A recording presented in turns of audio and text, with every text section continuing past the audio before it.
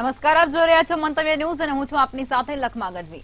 રાજ્યમાં અત્ર તત્ર સર્વત્ર અતિ વરસાદ વરસ્યો, જેના કારણે વિનાશ અને તારાજી સર્જાય. કહેવાય છે ને કે અતિ સર્વતે વર્જયતે પછી તે વાણી હોય, પ્રેમ, હૂંફ, વસ્તુ, તપ, તેજ કે પછી વરસાદ જ કેમ ન હોય? અતિની કોઈ ગતિ નથી હોતી.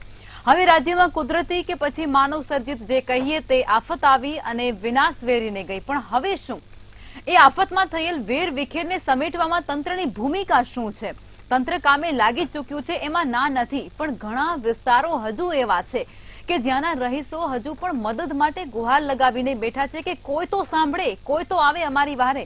ઘરમાં પાણી અને પાણીમાં એમની ઘરવખરી. ખાવા માટે અનાજના સાંધા અને વીજળી ન હોવાને કારણે પીવાના પાણીના પણ પણ રહ્યા છે ફાંફા. માલધારીઓને પણ એવી જ પરેશાની થઈ રહી છે જેવી ખેડૂતોને થઈ રહી છે. રોડ અને રસ્તાઓ સાથે જ અંડર અને ઓવરબ્રિજો સાથે જ કોઝવે તો એટલી ખરાબ હાલતમાં છે કે પસાર થતા લોકોના શરીરના રીતસરનો દુખાવો ચાલુ થઈ જાય છે.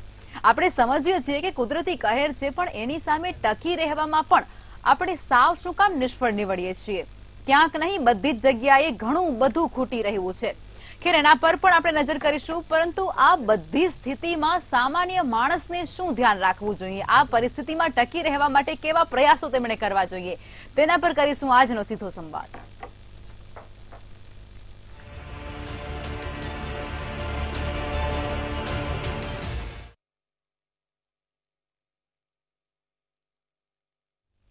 ચર્ચાની શરૂઆત કરશું, જેમાં પ્રફુલભાઈ ત્રિવેદી મંતવ્ય ન્યૂઝના એસોસિએટ એડિટર જોડાઈ ચૂક્યા છે અને સાથે જ આપણી સાથે doctor Jayeshbhai Trivedi, medical superintendent શાલ હોસ્પિટલથી જોડાઈ ચૂક્યા છે અને મહેશભાઈ પંડ્યા જોડાઈ ચૂક્યા છે પર્યાવરણવિદ છે. પહેલા તો તમામ મહાનુભાવોનું સ્વાગત છે મંતવ્ય ન્યૂઝ પર. પ્રફુલભાઈ, શરૂઆત આપનાથી કરીશું. આ કુદરતે કઈ પછી આપણે માનવ સર્જિત જે કહીએ તે એક આફત આવી અને બધું જ વેર વિખેર, તહેસ નહેસ કરી અને જતી રહી છે અને એના જે પડઘા પડ્યા, જે સ્થિતિ અત્યારે જોવા મળી રહી છે જે તસવીરો સામે આવી રહી છે. માણસો હજુ પણ ઘણી જગ્યાઓ પર એવી રાહ જોઈને બેઠા છે કે કોઈ તો મારું સાંભળે, કોઈ તો મારી મદદ કરવા માટે આવે. આ તમામ સ્થિતિને તમે કઈ રીતે જુઓ છો? અને આની પાછળ જવાબદાર કોણ હોઈ શકે તમારા મત મુજબ? લખમાં, આપણે ત્યાં કહેવત છે આ ફાટે ત્યાં થીગડા ના દેવાય. રીતસરનું આ ગુજરાત ઉપર છેલ્લા પાંચ, છ દિવસથી મેઘરાજાએ ગુજરાતને બરાબરનું ગમરોલ્યું છે. આજે થોડો પોરો ખાધો છે અને થોડો ઉઘાડ નીકળ્યો છે. એટલા પૂરતું ચોક્કસપણે આપણને આશ્વાસન મળ્યું છે. પરંતુ પાંચ દિવસ સુધી જે તબાહી વેરી છે, જે આકાશમાંથી પ્રકૃતિનો જે પ્રકોપ વર્ષો છે, એણે આપણા જનજીવનને તહસ નહસ કરી કાઢ્યું છે. હવે આ જે પાંચ દિવસ દરમિયાન જે કાંઈ થયું, એમાંથી તંત્રએ, સરકારે અને નાગરિકોએ તમામે પદાર્થ પાઠ લેવાનો છે કે ભવિષ્યમાં આપણે આવી હેરાનગતિમાં ના મુકાઈએ. આ જે હેરાનગતિમાં મુકાઈએ છીએ એ કુદરતનો પ્રકોપ તો છે છે અને છે જ. પરંતુ જે માનવ પણ જે આયોજન કરે છે શહેરી વિસ્તારોનું, એ એવું આડેધડ કરે છે કે એ પ્રકોપને વધારે તીવ્રતમ બનાવે છે અને ધાર કાઢી આપે છે. તમે વડોદરાની જ વાત કરો કે વડોદરા વિશ્વામિત્રી નદીના પાણી વડોદરા શહેરના રોડ ઉપર ફરી વળ્યા એક એક માળ મકાનોના જે હતા એ પાણીમાં ગરકાવ થઈ ગયા હતા. જે નીચાણવાળા વિસ્તાર હતા, નદી કાંઠાના વિસ્તાર હતા, એ જગ્યાએ. બાકી પાણી તો તમામ જગ્યાએ હતા અને આજે તો ત્યાં મગર પણ રોડ ઉપર ફરી રહ્યા છે, બગીચામાં ફરી રહ્યા છે. હવે વડોદરાની આવી સ્થિતિ થવાના ઘણા બધા કારણો છે. ખાસ કરીને ત્યાંના હોદ્દેદારો છે, એ લોકોને પ્રજાકીય કામોમાં સંપૂર્ણપણે ધ્યાન કેન્દ્રિત કરવાને બદલે ટેન્ડરોમાં આગા પાછી કરવી, પોતાના મિત્ર કોન્ટ્રાક્ટર હોય, એને જ કોન્ટ્રાક્ટ મળે, એવા ત્રાગા ગોઠવવા, એવા પાસા ગોઠવવા. અને એને કારણે ઘણી વખત પ્રજાકીય સેવાના જે કામો છે ને, એ ટલ્લે ચડે છે. અમદાવાદમાં જેમ ધર્મેન્દ્રભાઈ શાહને દૂર કર્યા, એવી રીતે આવા ધર્મેન્દ્ર ભાઈઓ જુદા જુદા કોર્પોરેશનોમાં બેઠેલા જ છે અને એના ઉપર સરકાર અને સંગઠનની નજર ગયેલી જ છે. હવે એ જો નહીં સુધરે, તો એમની હાલત પણ એવી જ થવાની છે. આ એક આડ વાત થઈ. પરંતુ શહેરોનું જે આયોજન થઈ રહ્યું છે, એ બહુ જ આડેધડ થઈ રહ્યું છે. તમે જુઓ કે જ્યારે આ તાચા સાધનો હતા, ટેકનોલોજી નહોતી વિકસી, ત્યારે જે શહેરનું આયોજન હતું, દાખલા તરીકે વડોદરામાં સયાજીરાવ ગાયકવાડે જ્યારે એનું આયોજન કર્યું, ત્યારે બે તરફ કાસ કરી હતી. અને કાસના કિનારા ઉપર છ જેટલા સરોવર, મોટા તળાવો કર્યા હતા. કે જેથી તળાવ, એ પાણી ત્યાં જતું રહેતું હતું, પાણી ભરાતું નહોતું. અત્યારે બધા કાંસ ઉપર હવે મોલ થઈ ગયા છે. આડેધડ બાંધકામો થઈ ગયા છે. આ જે એન્જિનિયરો છે અને જે ટીડીઓ ખાતું છે, એને બાંધકામ માટે મંજૂરી આપતી વખતે આ વિચાર નથી આવતો કે આવતીકાલે આ કઈ રીતે આડશ ઊભી કરવાના છે. આ જે નદી સાંકડી થઈ છે, એને કારણે એના પાણી છે એ શહેરમાં ફરી વળ્યા. હવે એટલે આયોજનની ખામી બધા શહેરોમાં છે. અમદાવાદની પણ વાત કરીએ સુરતની વાત કરીએ, રાજકોટની વાત કરીએ, તો બધા જ શહેરોમાં જે એન્જિનિયરો અને ટીડીઓ ખાતું છે, એને જેટલો ભ્રષ્ટાચારમાં રસ પડે છે, એટલો રસ શહેરનું સારી રીતે આયોજન થવું પડે, એમાં પડતો નથી, એની દ્રષ્ટિ નથી, એની માનસિકતા નથી, એમની ત્રેવડ નથી. જેને કારણે આખો જે વિકાસ થાય છે, એ વિકાસ આડેધડ થઈ રહ્યો છે. રોડ, ગટર, સ્ટ્રોમ વોટર ડ્રેનેજ, સુરેજ ટ્રીટમેન્ટ પ્લાન્ટ અને જળ સ્ત્રોતની જાળવણી. જો આનું આયોજન કરવામાં આવે, તો આ જે વરસાદનું પાણી છે, એ સીધું તમારા તળાવોમાં જઈ શકે કે તમારી નદીમાં જઈ શકે, પરંતુ આયોજનમાં અનેક જાતની ખામીઓ છે. અમદાવાદની અંદર ઓછામાં ઓછા એકસો પંદર જેટલા તળાવો છે. એમાં મલેક સાબાન અને જે બીજા તળાવો છે એ તળાવો આપણા કાંકરિયા કરતા પણ ચાર ગણી મોટી સાઈઝના છે. પરંતુ એમાં પાણી જતું જ નથી. ગટરના પાણીથી જાય છે. કારણ કે તમે સ્ટ્રોમ વોટર ડ્રેનેજની દશા બગાડી નાખી છે. સ્ટ્રોમ વોટર ડ્રેનેજ આ સુરત ટ્રીટમેન્ટ ને ગટર આ બે વચ્ચે તમે કોઈ તફાવત જ રહેવા દીધો નથી.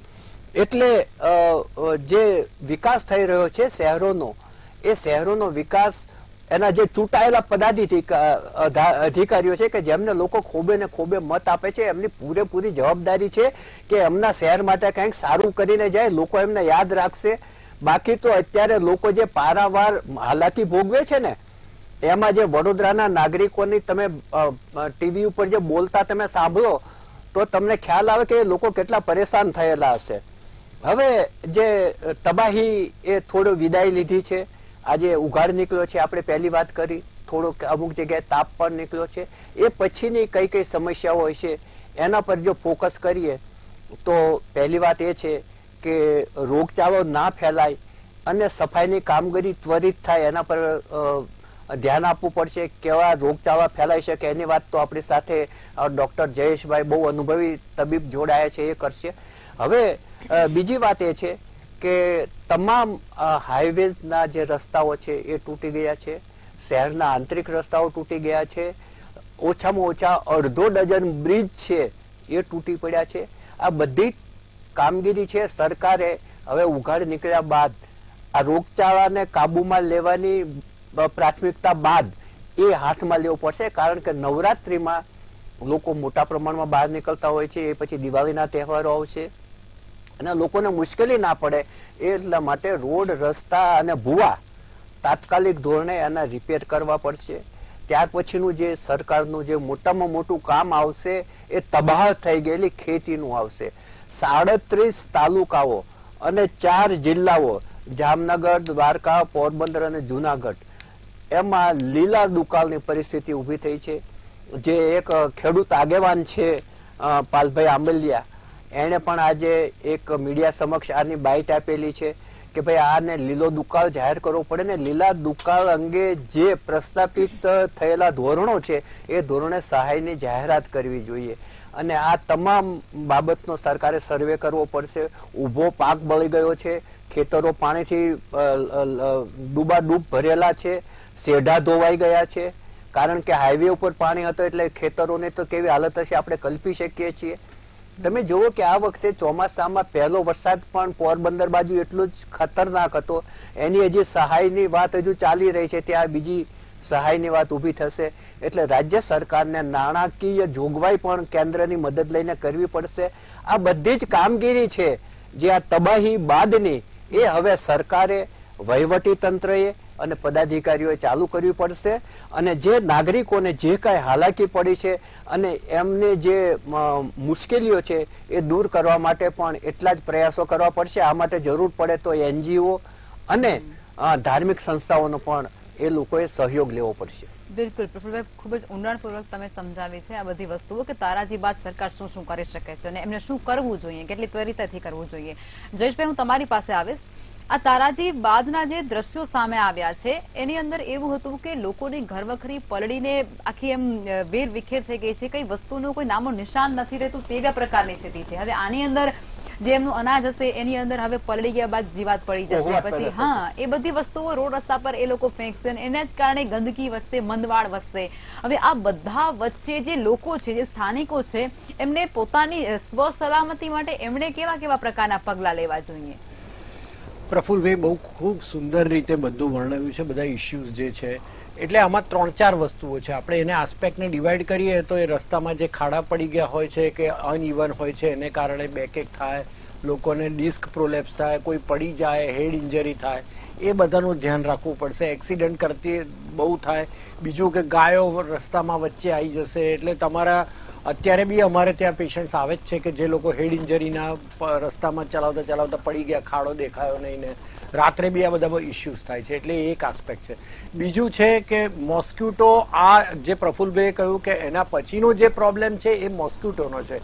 એટલે મચ્છરો, એડિસિસ ઇજિપ્ટી નામના મચ્છરો છે એ પણ થશે અને એનોફિલિસ મચ્છર બી થશે. એટલે એને કારણે ડેન્ગ્યુ છે, મલેરિયા છે ચિકનગુનિયા છે ફાલ્સીપેરમ મલેરિયા છે લેપ્ટોસ્પાયરોસિસ છે, આ બધી જાતના જે ડિસીઝ છે, એ મચ્છરોથી અથવા અથવા માખીઓથી થતા રોગો જેવી રીતે કોલેરા છે ગેસ્ટ્રોએન્ટ્રાઇટિસ છે ટાઇફોઇડ છે, એ બધાનો ઉપદ્રવ થશે જોન્ડિસ છે. વોટર પોલ્યુશનને કારણે જે થાય, એ બધા પાણીજન્ય રોગો જે છે, કોલેરા છે હિપેટાઇટિસ એ છે હિપેટાઇટિસ ઈ છે જેને આપણે કમળાની અલગ અલગ જાતને કહેવાય, એ એ ટાઈપના ડિસીઝીસ થશે. અને એ સિવાય પણ બધા ઘણા એવા ફંગલ ઇન્ફેક્શન્સ છે. તમે બહાર ના જઈ શકો એટલે વિટામિન ડી તમારે ડેફિશિયન્સી થાય. તમે ઘરની અંદર તમે બિનજરૂરી વધારે પડતું કદાચ ખવાઈ જાય, કારણ કે કંઈ કામ ના હોય એટલે એટલે હાઇપર ટ્રાઇગ્લિસેરેડેમી અનકન્ટ્રોલ ડાયાબિટીસ એટલે આવા આવા ઇસ્યુ નાના નાના તો આપણે ગણતા જ નથી, પણ જ્યાં મોટા ઇસ્યુઝ છે, વોટર પોલ્યુશન મોસ્ક્યુટો એ બધા બહુ ઇમ્પોર્ટન્ટ વસ્તુઓ છે.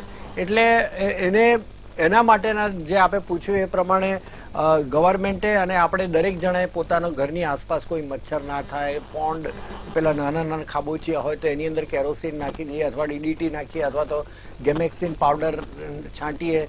તમે મચ્છરદાનીમાં સૂઈ જવાની રાખો, તમારા કવર્ડ હોય એ બધા બારી બારણા હોય એ રીતે રાખો. બહાર બિનજરૂરી જવાનું એવોઇડ કરો, કાળા કપડાં એવોઇડ કરો. ફૂલ સ્લીવના લાંબા વ્હાઇટ એ શર્ટ કે તમારા લહેંગા કે એ ટાઈપનું પહેરો. મોર ઓવર બાળકોને તમારે ઓલ્ડ એજ વાળાને બહુ સાચવવાના, કારણ કે આ ટાઈમે જ એ લોકોને બધા ઇશ્યુઝ થતા હોય છે. અને એ લોકોનું રોગ પ્રતિકારક શક્તિ ઓછી હોવાને કારણે એમને ઇન્ફેક્શન ખતરનાક સાબિત થતા હોય છે. જડા ઉલટી જો થતા હોય તો તમારે તાત્કાલિક ડૉક્ટરની ટ્રીટમેન્ટ લેવી જરૂરી છે, જેને કારણે ડિહાઇડ્રેશન કિડની ફેલ્યોર કે એ બધું ના થાય. એટલે આવા આવા જોઈએ ને તો નાના નાના નાના નાના ઇસ્યુ પણ ઓવરઓલ મલ્ટિપલ પ્રોબ્લેમ્સ થતા હોય છે. બિલકુલ. મહેશભાઈ તમને મારો એ સવાલ છે કે આપણે આ બધી વસ્તુ પાછળ તંત્રને સવાલ કરીએ છીએ ને ત્યારે એ એવું કહી રહ્યા છે કે આ તો કુદરતી કહેર છે. અને કુદરતે વસાવેલો આ કહેર છે. કુદરતે સર્જેલી આ તારાજી છે. પરંતુ એની પાછળ જવાબદાર કોઈ તો હોય ને. ઘણા અંશે આપણે ખુદ જવાબદાર છીએ, પરંતુ આપણે સ્વીકારવામાં ક્યાંક શરમ અનુભવતા હોઈએ છીએ. પરંતુ જવાબ, આની આની પાછળ જવાબદાર તંત્ર તમારા મત મુજબ કોણ છે? એટલે મહેશભાઈ તમે પર્યાવરણવિદ છો માટે આ સવાલ તમને છે કે ક્લાઇમેટ ચેન્જની અસરને આ બાબત સાથે તમે કેટલી જોડી શકો? લખવાનો સવાલ સરસ છે, પણ પ્રફુલભાઈએ એમની પૂર્વભૂમિમાં ઘણી બધી વાત કરી. ક્લાઇમેટ ચેન્જની અસર તો છે જ અને નકારી ના શકાય. છેલ્લા બાર વર્ષનો તમે ગુજરાતનો રેકોર્ડ જુઓ, તો એકસો પંદર ટકાથી વધારે વરસાદ પડ્યો છે. પણ અનિયમિત પડ્યો છે. એક સાથે વીસ ઇંચ પડી જવો, પંદર ઇંચ પડી જવો, પછી બે મહિના બિલકુલ ના પડવો. એટલે દુષ્કાળ જેવી સ્થિતિ પણ લાગે અને એ જ વખતે પાછી લીલો દુકાળ પણ હોય ચોમાસામાં. એટલે આ પ્રકારની પરિસ્થિતિ જોઈ. પણ એ તો હવે નક્કી જ છે કે આ ક્લાઇમેટ ચેન્જ છે. એટલા માટે તો ક્લાઇમેટ ચેન્જ એક્શન પ્લાન બનાવવામાં આવ્યો છે. પેરિસ એગ્રીમેન્ટ કરવામાં આવ્યું છે. પણ એનું પાલન ક્યાં થાય છે? એટલે તમે એનઆરડીએફની ટીમ કે એસઆરડીએફની ટીમ લઈ દીધી અને જીવ બચાવી દીધા, એટલું પૂરતું નથી. એના પછીની જે સમસ્યા છે, જે ડૉક્ટર સાહેબે વાત કરીને પ્રફુલ્લભાઈ વાત કરી, એનું શું? અને વડોદરાની ખાસ કરીને વાત કરીએ તો, વિશ્વામિત્રીના દબાણો માટે લોકો છેલ્લા દસ વર્ષથી આંદોલન કરી રહ્યા છે. નેશનલ ગ્રીન ટ્રિબ્યુનલે આદેશ આપ્યા છે કે તમે દબાણ હટાવો. અને દબાણ નથી હટાવ્યા, મોટા પાયે આંખ આડા કાન કર્યા છે અને એમાં માત્ર અધિકારીઓ જવાબદાર નથી. રાજકીય નેતાઓ પણ એટલા જ જવાબદાર છે કારણ કે એમની સાનગાંઠ સિવાય થાય નહીં.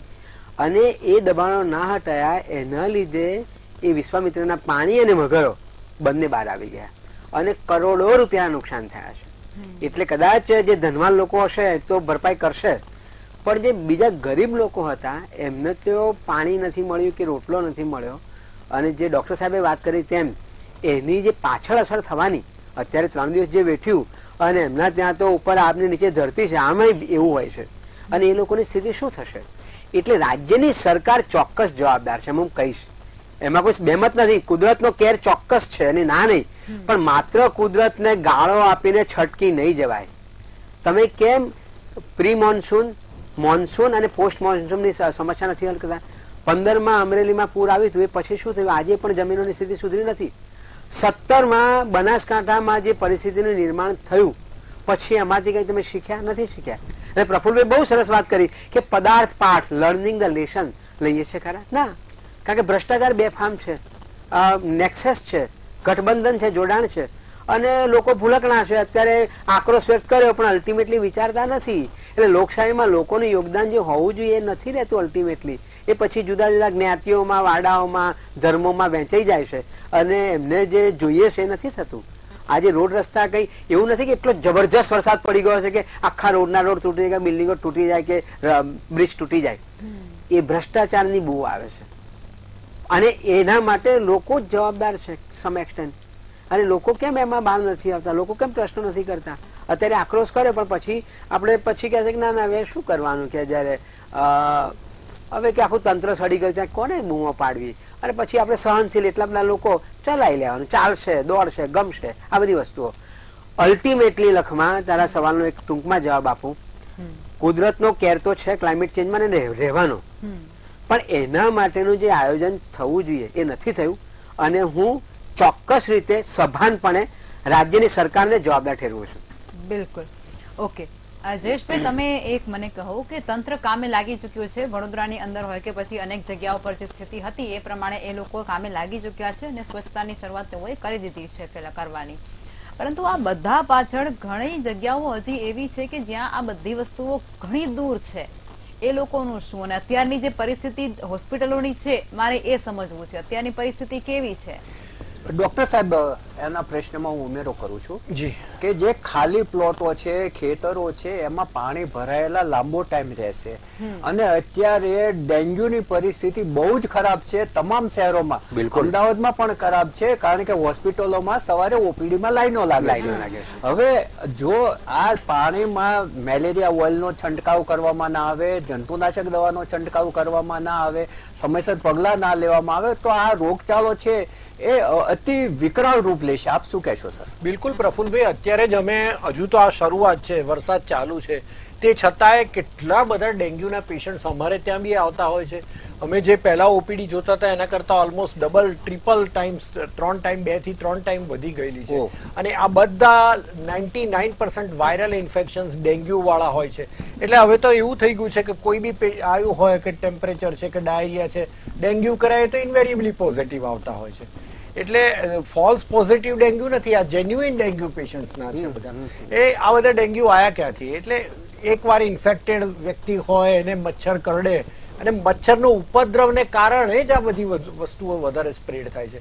આ તો સારું છે કે હજુ ડેન્ગ્યુ એટલું ડેન્ગ્યુ હેમરેજિક ફીવર નથી થયો અથવા ડેન્ગ્યુ શોક સિન્ડ્રોમના સ્ટેજ નથી આયા અને એ એને કારણે બહુ પ્લેટલેટ્સ બહુ ઘટીને બ્લીડિંગને એવા બધા નથી હજુ આયા. એ આપણું નસીબ છે પણ જો એ ટાઈપના ચાલુ થાય એટલા ઝેરી તો આપણને ઘણી તકલીફ પડે. પ્રફુલભાઈ આપણે કદાચ મેનેજ ના કરી શકીએ એવું બની કારણ કે હેમરેજિક ભૂતકાળમાં એ રીતે આવેલા છે. હા છે ને આપણે ટ્રીટે કરેલા છે. પ્રફુલભાઈ પણ આ સિચ્યુએશન બહુ ડેન્જરસ છે એ રીતે. અને હજુ તો આ વધશે કારણ કે જેવો ઉગાડ આવશે સૂર્યનો તડકો પડશે એટલે બ્રીડ વધવાની. અને આ તો અત્યારે લાર્વાના ફોર્મમાં હોય મચ્છરો.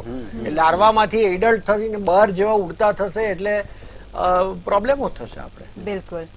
મહેશભાઈ લોકોની ઘરવખરી પલળી ગઈ અને વીજળીના અભાવે એ લોકોને પીવાના પાણીના પણ ફાફા પડ્યા. આ બધી સ્થિતિની અંદર હજુ પણ એવી એવા ઘણા ગામડા છે જ્યાં લોકોને મદદ માટે કોઈ પણ પ્રકારની સહાય પહોંચી નથી કે કોઈ લોકો પણ ત્યાં પહોંચ્યા નથી. આખો દિવસ આપણે ટીવી સ્ક્રીન પર એ બધી વસ્તુ જોઈ રહ્યા છીએ. કોણ જવાબદાર? જવાબદાર તો આપણે વાત કરી પણ હવે જે બન્યું છે બન્યું. એ પદાર્થ પાઠ લઈને શીખે તો સારી વસ્તુ છે. પણ હાલ જે પ્રફુલભાઈએ કહ્યું તેમ ધાર્મિક સંસ્થાઓએ અને સ્વૈચ્છિક સંસ્થા હોય એમણે બહાર આવવું પડશે. કે ધાર્મિક સંસ્થાઓ જોડે મબલક નાણાં પણ છે સગવડો પણ વહીવટી તંત્ર એ લોકો ઇન્ફ્રાસ્ટ્રક્ચર છે. ઇન્ફ્રાસ્ટ્રક્ચર પણ છે. એટલે એ લોકોએ બહાર આવવું જ પડશે. એને અને એ જો નહીં થાય તો પછી લોકોને હાલાકી બહુ ભોગવવી પડશે. અને પ્રફુલભાઈ કહ્યું એમ જેમ કે અગાઉ જે નુકસાન થયું એનું તે વાત હજુ પતી નથી ત્યાં બીજું નુકસાન થયું. એટલે એ જે પેકેજ એની વાત છે એ કેશડેલ્સ હોય કે પછી ખેડૂતોના હોય એ તૈયાર હોવા જોઈએ. કારણ કે અત્યારે હાલ એમને જરૂર છે. અને મોટા લોકોને બહુ વાંધો નથી આવતું. પણ નાના લોકોને જ્યારે સો રૂપિયા પણ વ્યાજમાં લેવા પડે અને એનું જે વ્યાજ હોય છે એ ખતરનાક હોય છે. એ કેશડોલ્સની વ્યવસ્થાઓ અનાજની વ્યવસ્થાઓ તાત્કાલિક ધોરણથી થવી જોઈએ. નહીં તો આ આ લોકો દેવામાં ડૂબી જશે અને પછી બરબાદ થઈ જાય છે અને પછી આત્મહત્યાઓ થાય છે. ને તો એ તો નોંધાતી પણ નથી. અને એટલે આવી સ્થિતિમાં બધાએ ભેગા થઈને બહાર આવવું પડે. પણ ફરીવાર જે પ્રફુલ પ્રફુલભાઈના શબ્દો મારે રિપીટ કરવા છે કે સરકારે પદાર્થ પાઠ લેવો જોઈએ અને ફરીવાર આવી ઘટનાઓ ના બને આ નિષ્ક્રિયતાની કુદરત તો એની રીતે કામ કરવાનો છે. પણ જે તમે તળાવની વાત કરી પ્રફુલભાઈ અત્યારે પણ હાઈકોર્ટમાં એક કેસ ઊભો છે. દ્વારકાનું તળાવ જે દબાણ થયું અને પછી ચીફ જસ્ટિસે કહ્યું કે આખા ગુજરાતના તળાવનો સર્વે કરો અને દબાણો દૂર કરો. બે હજારની બે હજારમાં એક સરસ જજમેન્ટ હતું પ્રફુલભાઈ. શૈલેષ શાહ વિરુદ્ધ ગુજરાત સરકાર. અને એ વખતે એ વખતે કહેવામાં આવ્યું હતું કે ગુજરાતના તમામ વેટલેન્ડનો સર્વે કરો અને પ્રોટેક્ટ કરો. એને પ્રદૂષણથી પણ મુક્ત કરો આ બધું મુક્ત કરો. અને આજુબાજુ બાંધકામને મંજૂરી ના આપો. બિલકુલ. તેમ છતાંય એ નથી થયું. અને એવી પછી તો મારી સંસ્થાએ પણ પિટિશન કરેલી બે હજાર તેરમાં. એમાં પણ હાઈકોર્ટે આ ડિરેક્શન આપ્યું. એ પછી એકવીસમાં પણ મેં પિટિશન કરી. ટીપી પણ ગમે તેમ પડતા તેમ અને અત્યારે આ જે દ્વારકાનો જે કેસ ચાલે છે એમાં- બીસી પટેલે પણ આ જજમેન્ટ આપેલું કે વોટર બોડીની આજુબાજુ બાંધકામને મંજૂરી ના આપો. એટલા માટે પ્રફુલભાઈ કે જે વોટર બોડી હતી ત્યાં પૂરીની જયારે બિલ્ડિંગો બન્યા તો ધરતીકંપમાં આખા ને આખા ધરાશય થયેલા. અને એટલા માટે થયેલું. અને એ અત્યારે પાણી જે તમે કહ્યું ને આવરો આવરો તમે દબાવી દીધો. તો પછી આ કૃત્રિમ પૂર્ણ આવે તો શું થાય? એટલે માત્ર ને માત્ર એ નથી પણ આ જે દબાણો ને જે છે એટલે ટાઉન પ્લાનિંગ કુદરતને આપણે બધું માથે ઢોળી અને આપણે છટકી જઈએ એ વસ્તુ અહીંયા પોસિબલ નથી થતી. પ્રફુલભાઈ એક વાત કરીને હું લખવા ટાઈમની મને મર્યાદાની ખબર છે. જે સ્ટ્રોંગ વોટર લાઈન અને ગટર લાઈન છે. હોવી જોઈએ. પણ તમે ગટર લાઈન બરાબર બનાવી જ નથી એટલે એ સ્ટ્રોમમાં નાખી દો છો એટલે બધું ઉભરાય છે. આ મુખ્ય એટલે પાણીના આવરાને તમે દબાવી દીધું કુદરતી આવરાને એટલે આડે ધડ પાણી જાય છે ને પછી આ નુકસાન થાય છે. બિલકુલ. પ્રફુલભાઈ તમે શું કહેશો સમાપનમાં? એમણે જે કહ્યું ને કે સ્ટ્રોમ વોટર ડ્રેનેજની આઈડેન્ટિટી રહી જ નથી. એની સાથે ગંદા પાણીનું ગટરો જોડાઈ ગઈ છે. હવે સ્ટ્રોમ વોટર ડ્રેનેજ એના માટે છે કે વરસાદનું પાણી જળ સ્ત્રોતમાં જાય અને એ પાણી સચવાય. તળાવની અંદર કે તમે એનો ઉપયોગ કરી શકો. પરંતુ એ નથી થતું અને આ જે મિક્સ થઈ ગઈ છે એને કારણે તળાવો ગંદા પાણીના ખાબોચિયા થઈ ગયા છે. એટલે તમે એનો ઉપયોગ કરી નથી શકતા. અનસાયન્ટિફિક જે વિકાસ થાય છે આપણે ત્યાં. દાખલા તરીકે હું તમને કહું કે મીઠા ખળી જે ગરનાળું છે એને કોચરબ ગરનાળું. ક્યારેય તે બંધ આવવા જવા માટે બંધ નહોતા કરવા પડતા. કારણ કે એની નીચે એ પ્રકારના ગરનાળા હતા જે સીધા નદીમાં છૂટતા હતા. હવે ઇન્ટરસેપ્ટર લાઈન નાખી એ પછી ત્યાં પાણી ભરાતું થઈ ગયું. આ કેવા પ્રકારનો વિકાસ થયો? ખરેખર એમાં સરળતા થવી જોઈએ. એના બદલે આ તો સુવિધાના બદલે દુવિધા ઊભી થઈ. એવી જ રીતે આ ઇન્ટરસેપ્ટર લાઈન છે એકસો દસ કરોડના ખર્ચે નાખી છે ને એની અંદર આવા ગંદા પાણીના ગરનાળા વાવી દીધા છે. હવે એ ગંદા પાણીના ગરનાળા સાથે પાછી સ્ટ્રોમ વોટર ડ્રેનેજના પણ લાઈનો છે. હવે કેવું આયોજન છે કોર્પોરેશનનું એ તમે જુઓ કે જો નદીનું પાણી ઉતારવામાં ના આવે તો પશ્ચિમ વિસ્તાર આખો પાણી પાણી થઈ જાય. એટલે તમારે નદીનું, નર્મદાનું ચોખ્ખું ભરેલું પાણી વહાવી દેવું પડે અને પછી પાછું જ્યારે ઉઘાડ નીકળતા ફરી તમારે નર્મદાના પાણીનો બગાડ કરવો પડે, ભરવું પડે. તો કોઈ લેવલના ઠેકાણા નથી હોતા. આ જે એન્જિનિયરો છે, એમના જે કન્સલ્ટન્ટો છે, એમના જે કોન્ટ્રાક્ટરો છે, એમને વિકાસની કોઈને નથી પડી. એ લોકોને એમના ભ્રષ્ટાચારની પડી છે, એમની ટકાવારીની પડી છે અને કોન્ટ્રાક્ટરને એના તગડાના નફાની પડી છે. નહીં તો એક વરસાદમાં તમારા રોડ તૂટી જાય. તમારા બ્રિજ બેસી જાય. જે ચાલીસ વર્ષ ચાલવો જોઈએ, એ હાટકેશ્વર બ્રિજ ચાર વર્ષમાં જ તે દમ તોડી દે. આ તો કેવા પ્રકારનો વિકાસ છે ને આનો, આ વિકાસનો જવાબ માંગવા વાળો કેમ કોઈ નથી? આ જે નાગરિક છે, એને હેલ્મેટ ના પહેર્યું તો તમે દંડ કરો છો. એને પાર્કિંગ ખોટી જગ્યાએ કર્યું હોય તો તમે એને દંડ કરો છો. તો રોડ તૂટી જાય ત્યારે એન્જિનિયર અને કોન્ટ્રાક્ટરને દંડ કેમ નથી કરતા? એ જો કચરો ના ઉપાડે, તો તમારા સોલિડ વેસ્ટના જે ડેપ્યુટી ડાયરેક્ટર છે, એને કેમ નથી તમે દંડતા એટલે દંડ પણ એક તરફી જ થાય છે પ્રજાજનોનો. એ લોકો પાસે કોઈ જવાબદેહીતા નક્કી જ નથી એ લોકોની. અને બીજું આજે ડોક્ટર સાહેબે કહ્યું કે ભાઈ મચ્છરોનું પ્રમાણ વધશે, કારણ કે અત્યારે પોરા હશે, પોરામાંથી મચ્છર થશે. કારણ કે એને મચ્છરોને પેદા થવા માટે બહુ સાનુકૂળ વાતાવરણ મળ્યું છે. મચ્છરો છે એ ભેજવાળા અને અંધારિયા વાતાવરણમાં બહુ ઝડપથી પેદા થતા હોય છે. એટલે મચ્છરને બહુ પેદા થવા માટે યોગ્ય વાતાવરણ મળી ગયું છે. હવે જેમ ઉઘાડ નીકળશે એમ પોરામાંથી મચ્છરો ઉડતા થશે. એટલે જ્યાં સુધી કોઈ મીડિયા નહીં કે ને, મહેશભાઈ બિલકુલ. ત્યાં સુધી આ જે ડીઈઓ ઓફિસના ઓફિસરો છે ને, જે ડિસ્ટ્રિક્ટ એજ્યુકેશન ઓફિસર, એને આ વસ્તુ સૂચશે નહીં કે ભાઈ હવે યુનિફોર્મ બંધ કરી અને ફૂલ સાઈઝ ફૂલ સ્લીવના કપડાની મંજૂરી આપી કે છૂટ આપવી કારણ કે જે એડિસ મચ્છર છે, જેને ટાઈગર મચ્છર પણ કહેવામાં આવે છે કે જે ડેન્ગ્યુ, ચિકનગુનિયા ફેલાવે છે, ઝીકા ફેલાવે છે. હવે આ જે મચ્છર છે, એની દિવસ દરમિયાન વધારે ઉડતું હોય છે ને કરડતું હોય છે, રાત્રે નિષ્ક્રિય હોય છે, દિવસે વધારે સક્રિય હોય છે. હવે બાળકો છે એ દિવસ દરમિયાન સ્કૂલમાં હોય છે. અને સ્કૂલની અંદર જ્યારે મચ્છર હોય અને એને કરડે તો એ ડેન્ગ્યુનો પેશન્ટ બનીને ઘરે આવવાનું છે. એટલે ફૂલ સ્લીવના કપડાં, સફેદ કપડાં, નીચે પણ મોજા સાથે ફૂલ કપડાં પહેરવાની. હવે ડી ઓફિસે છૂટ આપવી જોઈએ. નહીં તો નવરાત્રી અને જે દિવાળી જેવા તહેવારો આવી રહ્યા છે એ તહેવારોમાં ઘેર ઘેર માંદગીના ખાટલા હશે. આપણે એવું ઈચ્છીએ કે પરમ કૃપાળુ પરમાત્મા કૃપા કરે અને બધા જ સ્વસ્થ રહે. પરંતુ એ માટે આપણા જે વહીવટી તંત્રમાં બેઠેલા અધિકારીઓ છે, જે કોર્પોરેશનમાં બેઠેલા ડોક્ટર્સ છે, જેમને આરોગ્યનું કામ સોંપવામાં આવ્યું છે, એ અને સરકાર, તમામ લોકો સક્રિય રહે એ ખૂબ જ જરૂરી છે. બિલકુલ, જયેશભાઈ, મહેશભાઈ અને પ્રફુલભાઈ ચર્ચામાં જોડાયા. તે બદલ તમામનો આભાર. આવી ઘટનાઓ બને છે, આવી તારાજી સર્જાય છે અને ત્યારબાદ આપણે એકબીજા પર ખો આપવાનું શરૂ કરી દેતા હોઈએ છીએ કે આમાં તંત્રની ખોટ છે, આમાં કુદરતનો વાંક છે, પરંતુ આ બધા વચ્ચે તંત્રની એક જવાબદારી હોય છે. અને ક્યાંક એ જવાબદારી પૂરી કરી પણ રહ્યા છે, આજે તે કામે લાગી પણ ચૂક્યા છે, પરંતુ હજુ એવા ઘણા વિસ્તારો છે જ્યાંનો જે પીડિત માણસ છે, એનો અવાજ આજે પણ સરકાર સુધી પહોંચી નથી શક્યો અને આજે પણ તે એક, આમ આશા સાથે બેઠો છે કે કોઈ મને સાંભળે, કોઈ મારી મદદ કરે. ચર્ચામાં અત્યારે બસ આટલું જ. આવતીકાલે ફરી મળીશું એક નવા મુદ્દા સાથે. નમસ્કાર.